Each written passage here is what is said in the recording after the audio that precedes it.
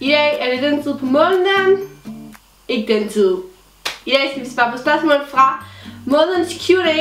Jeg vil lige sige, at jeg har, rigtig, jeg har fået rigtig, rigtig meget ros på mine Q&A's, og øh, det er super, super glad for. Jeg er glad for, at I synes, de er spændende. Og jeg er glad for, at I føler, at I lærer mig bedre at kende ved at blive Q&A's, for det er egentlig det, der er formålet med at lave dem. Så der er ny på kanalen og ny til mine Q&A's, så vælger jeg hver måned 10 spørgsmål fra enten Snapchat eller Instagram, hvor I har været med til spørgsmål. Og i den her måned er Instagram, og jeg har simpelthen mine 10 spørgsmål her på. Så hvis du kunne tænke dig at join de her Q&A, så der kommer nogle spørgsmål eller eller andet, har noget, du vil spørge mig om, så er der måske en chance for, at jeg svarer på det i næste måneds Q&A, så skal du bare følge mig ind på min Instagram eller add mig på min Snapchat. Og begge dele er lige her.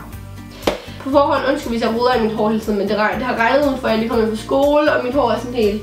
I ved, man får lyst til at rode i, når det, når det har været vådt, og når det regner, så... You know the feeling. Lad os komme i gang med at svare på jeres cues. Er du stresset omkring eksamenerne, og hvordan takler du det? Jeg går i 9. klasse. Jeg afslutte folkeskolen her om... Jeg er ikke helt 100% sikker på, hvor længe. Øh, men der er i hvert fald ikke ret længe tilbage. Umiddelbart, sådan vores mundtlige eksamener, dem er jeg overhovedet ikke stresset over. Øh, fordi jeg har prøvet at være igennem en mundtlig dansk eksamen, før jeg ved, hvordan det fungerer. Det var i 8. hvor vi prøvede det. Øhm, og så har jeg prøvet en mundtlig engelsk eksamen, også i 8. for at vi ligesom har prøvet at komme op til det. Så jeg ved godt, hvordan det hele foregår, og derfor er der selvfølgelig ikke noget at være nervøs over, fordi jeg ved, hvordan det er. Men jeg takler det. Jeg ved ikke, hvordan jeg takler det. Jeg takler det som, jeg tager en ting ad gangen, jeg tager en dag ad gangen, måske. Jeg gider ikke kigge langt ud i fremtiden, for eksempel.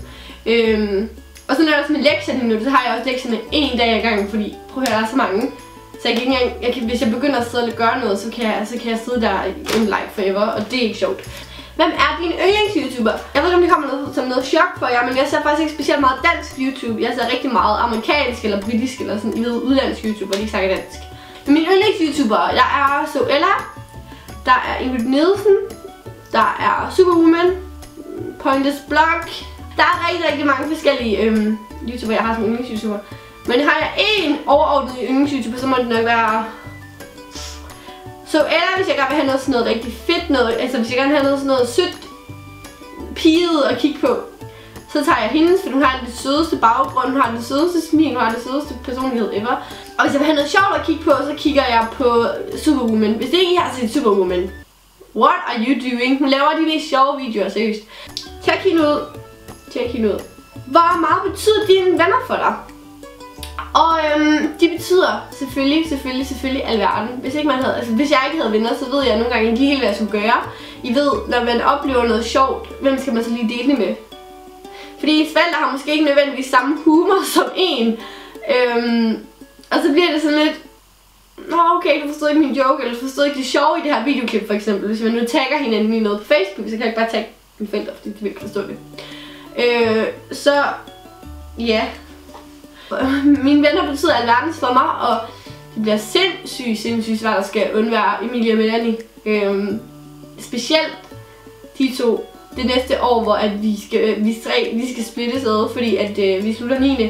og vi skal være sin vej efter 9. klasse, så øh, det bliver rigtig, rigtig svært.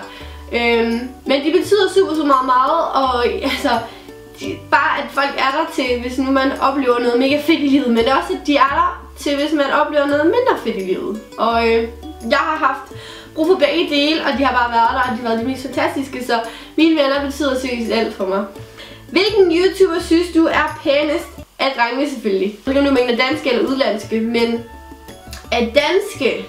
Af drengene har på Danmark må det nok være Rasmus Brohør, der er pænest. Det tror jeg alle siger, stort set næsten. Næsten alle. Øh, jeg gør i hvert fald. Og af de udlandske er det nok jeg synes, Thatcher Joe eller Joe Sock, han er bare seriøst det sødeste. Alfie og Joe og Markus, så tror jeg, vi har det perfekt. Det er perfect match. Dit yndlingsfag? Mit yndlingsfag er engelsk, og jeg synes bare, at sproget er seriøst smukt. In some ways. Um, og jeg bruger så meget engelsk i min hverdag, at det, det er helt vanvittigt. Um, at bare sådan in general. Se, der var et engelsk ord mere. Wow. Calm down, girl. Har du travlt med at passe alt, såsom YouTube, skole og job? Og jo, det kan du tro, jeg har. Og det er en krig nogle gange at få taget sig sammen og få lavet lektier for eksempel. Eller det er... Det er rigtig, rigtig svært lige for tiden at finde, rigt, at finde tid til YouTube, fordi at vi har ikke ferie mere. Øhm, eksamenerne er lige om lidt. Jeg bliver nødt til ligesom at følge med i skolen og lave mine ting og sådan noget.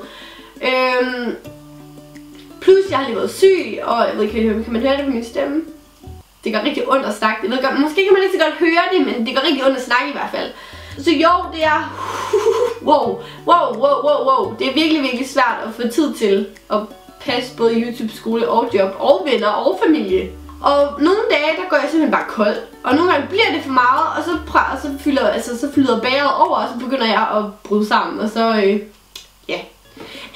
sker særlig tit, men det har sket en gang imellem, og jeg bare tænkte, okay, men nu ligesom, har du simpelthen haft for meget at se til. Men det er mega svært at få tid til alting, og jo, jeg har pisse travlt. Og jo, jeg har pisse travlt med at passe alle mine mærkelige ting, jeg nu har i mit liv. Øhm, inklusive Snapchat, det bruger jeg også tid på. Og snakke med jer og sådan noget. Så jo, jeg har meget, meget travlt med omkring det. Yes, nu bad jeg om personlige spørgsmål, og det her er et spørgsmål, jeg godt vil have noget på plads med. Tror du, dig at Annie bliver veninder igen? Og Annie, de snakker om her, det er Annie Jensen, øh, YouTuberen. Fordi hvis nogen har fulgt med på kanalen rigtig længe, så øh, ved de, at mig og Annie har været rigtig, rigtig gode veninder. Og der er nu gået mere end år, der er nu gået over et år, hvor vi ikke har været veninder. Vi har ikke haft nogen kontakt, og jeg har stadig ingen kontakt med hende. Vi har ikke noget sammen, vi har ikke noget forhold til hinanden overhovedet. Vi var veninder, vi var veninder rigtig, rigtig længe, lige fra vi var små af. Sådan 13 års venskab er bare lige faldet til jorden nu. Og der er ikke sket noget dramatisk, der er ikke noget drama, vi er ikke uvenner overhovedet. Vi bare vokset fra hinanden, og det er en naturlig ting, man nogle gange gør i et venskab. Der vokser man fra hinanden, og så er man ikke veninder længere, eller venner længere, eller hvad man nu er. Jeg vil sætte stor, stor pris på, hvis det var med at spørge hele tiden til det, fordi at der er ikke andet i det. Vi er ikke veninder længere, vi er vokset fra hinanden. Og der er som sagt gået over et år nu, og jeg er bare blevet lidt træt af at svare på spørgsmålet hele tiden, så ja. Bare, jeg vil gerne sætte pris på, hvis I vil spørge mere om det. Okay, hvad opmuntrer dig, hvis du har en dårlig dag? Hvad opmuntrer mig, hvis jeg har en dårlig dag? En af de ting, der er rigtig glad, det er at snakke med mine, med mine følgere og mine seere og sådan noget. For jeg er så mega bekymret, det er så pisse sødt, og det gør sådan helt det gør mig så varmt om hjertet, at nogen bekymrer mig så meget om det. Jeg tror, jeg lagde noget på mig sorry. Åh, det er en dårlig dag.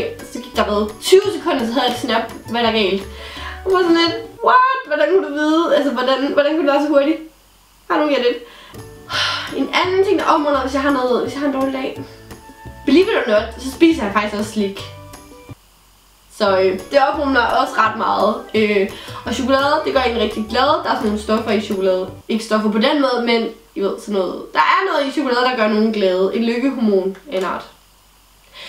Jeg ved ikke, jeg er overhovedet ikke ekspert på det her chokoladeområde, men øh, eller andet er der i chokolade, som gør dig glad. Det har jeg fået i biologi og læst et sted på nettet, som jeg. Så generelt bare se sjove film, øhm, komediefilm, sjove YouTubere, generelt bare alt muligt, jeg finder sjovt, men bare få et smil på læberne eller grine eller et eller andet. Basic spørgsmål, hvad er din Snapchat? Min Snapchat er Life of Nille, L-I-F-E-O-F-N-I-L-L-E. Bum. Gå ind og add mig, hvis I kunne tænke jer det. Jeg lægger alle lige mærke sjove ting op. Nogle gange rigtig mange ting, andre gange mindre ting.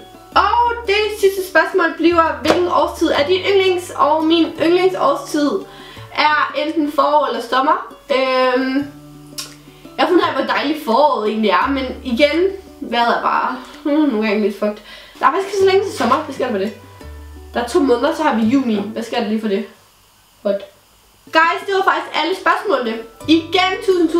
Tusind, tak som altid, fordi I har givet at stille spørgsmål på min Instagram, eller bare sådan en generel Q&A. Og som sagt, hvis du godt kunne tænke dig at stille spørgsmål eller deltage i Q&A'en, så Hop ind og følg mig ind på min Instagram og stille et spørgsmål, når jeg engang imellem lægger et billede op, hvor I kan skrive et spørgsmål til. Så kan det være, at det er dit spørgsmål, der kommer med i næste måneds Q&A. Det kan også være, at jeg tager Q&A næste måned på Snap. Ellers så håber jeg bare, at I har en rigtig, rigtig lækker dag, og så ses vi igen i min næste video. Kys, kys! fucking do it. Yeehaw!